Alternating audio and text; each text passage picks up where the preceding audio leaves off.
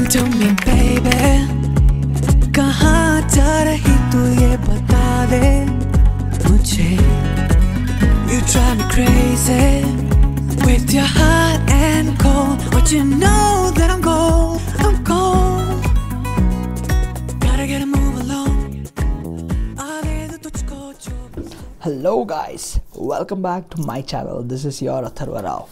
So I'm back again with some very interesting topic today. Done my research and got my points set and hope you like this video and this is going to be super helpful for you guys in making your decisions. So before we start, as I always tell, if you're new to this channel, thanks for coming this far.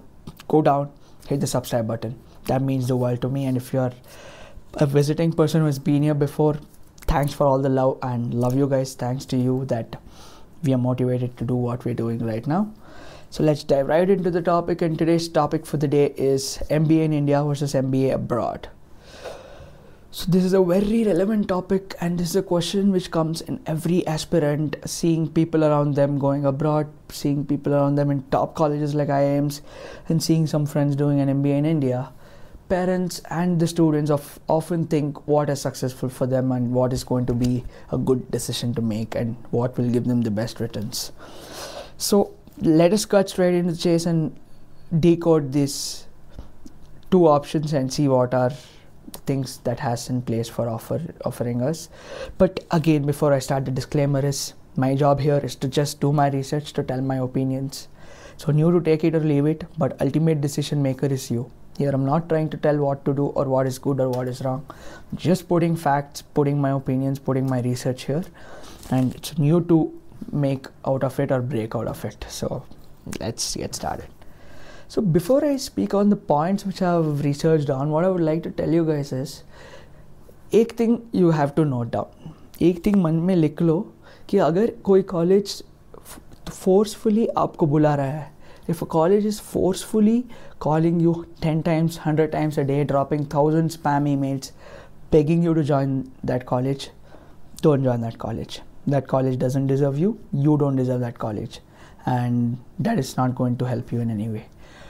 It should be other way around. You should be begging the college please take me please take me. I will be a good fit. I will build the brand of your college. I will take your college's name even further. That's that's how it should be. Of course you don't have i am ahmedabad IIM bangalore of the world calling you and begging you to join them. Rather it's we students who beg them to take us even after getting 99.9 percentile we are not guaranteed a seat there. That's the competition and that's the level of that college. So let's aim at that level. With that note i would like to start. So mba in abroad there are three routes. One route is your gmat gre route through an entrance exam. And this is one of the best routes and this is the route i suggest you guys to take because this gives you entry to top top global b schools like um, nyu stern then um, wharton your uh, lbs london business school your uh, your other top institutes, your top B schools of the world, name it. It's their Harvard Business School example. But another route is going through consultancy or going through a mere TOEFL or uh, IELTS, and this is a little not so suggested unless you you have money. Uh, you're just going there to chill, to relax, to have an experience of going abroad and just having a good time. You can do it. But if you're going with that pressure of taking a loan and repaying that loan and getting a job there, then I wouldn't suggest because I have many friends who have come back who have gone to London, did in not so famous colleges because you have a college in every gully nowadays. So they have done in not so famous colleges, come back here without any returns, and they're looking for jobs. In my ex company, Deutsche Bank, also I've seen many people who have come back from an MBA in London without a job there, visa getting expired, and here they're working in back office for a mere 4 lakh 5 lakh package which is not that good. It's not worth it. So please make sure you know what you want and you're sure to take the return. So considering that let's look at the points for mba abroad so global placement opportunities across diverse industries. So of course you're doing it abroad and you're going to get global opportunities to work in global mncs top firms of the world and make a name for yourself. Extensive international alumni network for global career advancement. So you are all into very sophisticated alumni networks because you have people supporting you who have gone from India or gone from your state who tend to huddle up together and stick on together and do betterment for their people. So that alumni network will definitely help you once you're in a foreign land. Then you have dedicated career services and job search support. So you have although you don't have campus college placements the way you have in India, you will have specific career uh, campus i mean career services companies. You have job fairs you have uh, job networking sessions meetups which is definitely going to help you to get jobs and your alumni your network is your net worth. So this is another point to consider. Then the brand recognition and prestige of the international b schools. So of course the brand name is going to go a long way. And you tell anyone you're from harvard business school anyone will have a jaw drop and will do a salam to you. So they will definitely look upon you, and it's a great tag to have beside your name. And then you have the exposure to global business practices and innovation hubs. So, of course, since you're doing it there and you have that access to that global faculty and that global exposure, you are introduced to a state of the art modern resources which helps you equip your MBA journey better. And then you have the language proficiency enhancement.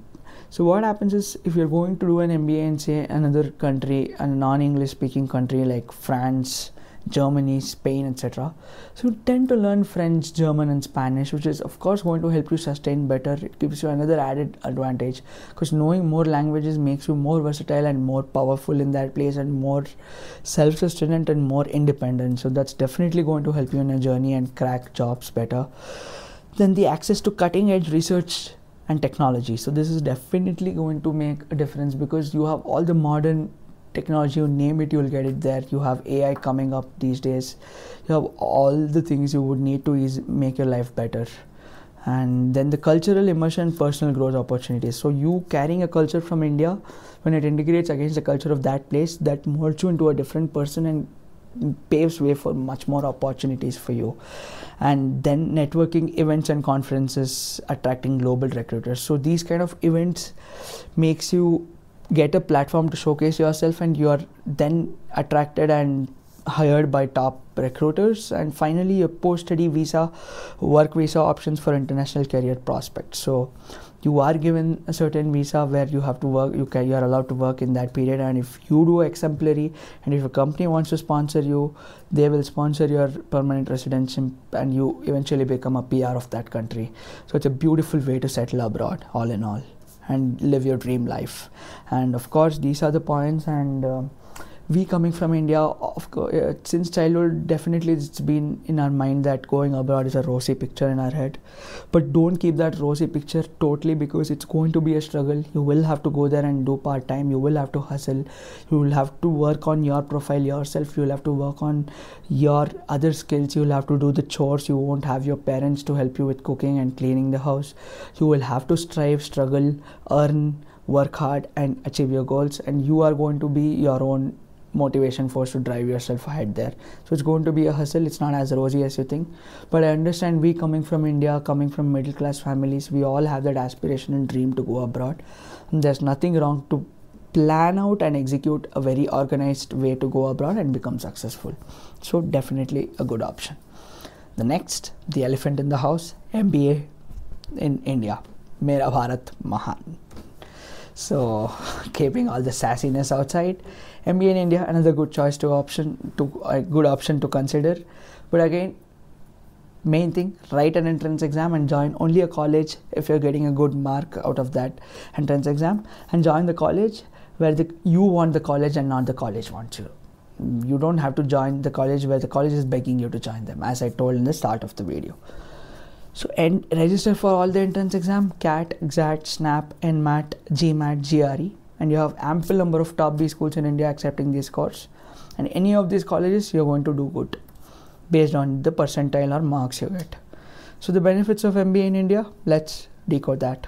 Placement assistance within the Indian job market. So you have placement committees set up by the college, run by students or run by college who facilitate placements, who bring campus placements who bring companies on campus and get you placed for summers as well as final by giving you a PPO or giving you a final offer and uh, most of these top B schools show 100 uh, play, percent placements and average placements of top B schools in India, let's be straight, 20 to 35 lakhs, and life is beautiful. Next point strong alumni networks and industry connections in India. So, top B schools in India, the alumni tend to stick together. And when will this be helpful? This will be helpful in tough times and tough econo- economic situations and in times of recession. So, alumni of IIM Ahmedabad tend to come back to their college and do good for their current students. Alumni of XLRIs come and do good for their institution. SP Jain, they come back. They all have the gratitude towards their college for making them big in life and they come back to give it back to the society and the college. The next point is sector specific expertise tailored to Indian industries. So you have sector specific specific to Indian market which will help you. So you have examples is you have agricultural business management in IIM Ahmedabad and Lucknow then you have sustainable business management and operations management specific specialization in IIM Mumbai. Then you have uh, SP Jain offering specializations even before you join the B school. You have many top colleges giving you specific MBAs in BKFSI, which is banking and financial industries. Then you have specific MBAs in marketing, specific MBAs in technology management these days, and the list goes on. So, definitely doing an MBA in your niche is going to be helpful for you to get your dream job in that domain. The next is the government recognition and accreditation of programs. So you have government bodies like your NAAC, AICTE accrediting and recognizing these MBA colleges.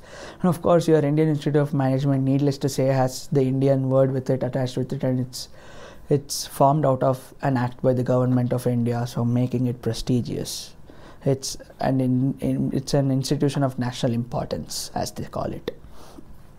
Then the understanding of business environment, Indian business environment and culture. So you are involved in a very deep, driven, and um, very case study based oriented uh, pedagogy where you're into the Indian market, you study the Indian market through case studies, you are becoming well versed in the Indian market to serve the Indian market going ahead then the cost effective living expenses compared to studying abroad. This is a very important point to consider because of course you going abroad even though you are spending in a different currency since indian rupees is lower than that currency for example of euros or usds you tend to mentally get that feeling that it's very expensive. Because even one dollar is going to come around about 80 rupees to you and it's going to have that mental toll on you. But in india you're again spending with the same rupee you lived your entire life with. So it's definitely not going to feel expensive. It's rather going to be affordable to put it that way. And then the internship opportunities with lead in Indian companies. So you have all the top B companies coming on campuses in top B schools like you have MBBs for consulting, you have Pidilite, HUL, ITC for marketing, you have JP Morgan, Goldman Sachs, name it it's there on campus. And these companies take you for summer placement summer internships and if you do good you get a ppo which is a pre-placement offer.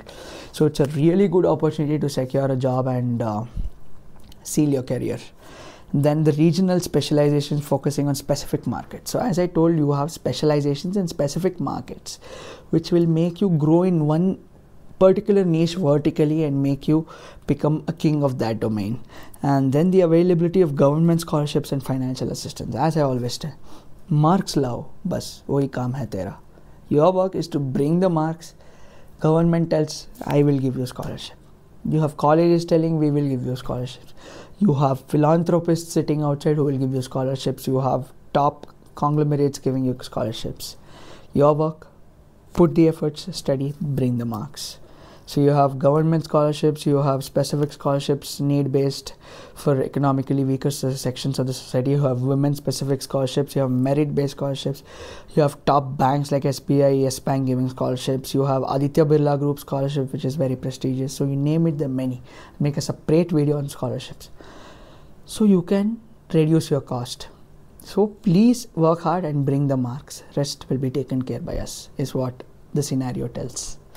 And then the rich cultural integration and the diversity within the Indian context. So doing an MBA makes you in India makes you very versatile and diversified in Indian context because think you're someone from Kerala and you're securing a seat in IIM Shillong and you're going all the way to Northeast to do an MBA. Imagine you bringing that South Indian taste with a Northeast tinge to it. How versatile is your personality? And these cross cultural experiences makes you a very good manager in future. Makes you have that experience of dealing with different types of people different stratas of people and taking viable quantifiable and sustainable decisions as a manager making you an overall great asset to the company. So these experiences are going to be extremely pivotal pivotal for you in this so to conclude, these were the points for MBA in India versus MBA abroad. But as I always tell, our job is to give you the facts, to give you the research, and it's on you to take the decision because you are the investment, you are the brand, and you are doing an MBA for yourself, and you're going to do an MBA only once in your life. So you take the decision, read the facts, and check what works best for you, and then take the decision. And there is no right answer as to what is good or what is wrong. And once you choose the path, stick to that path because you may never get an opportunity again to know how will it be if you chose another path. So you need to stick to what decision you take and strive towards getting towards your destination, as I always tell. And uh, that's it from my side on this video. See you in the next video. Till then, love you guys.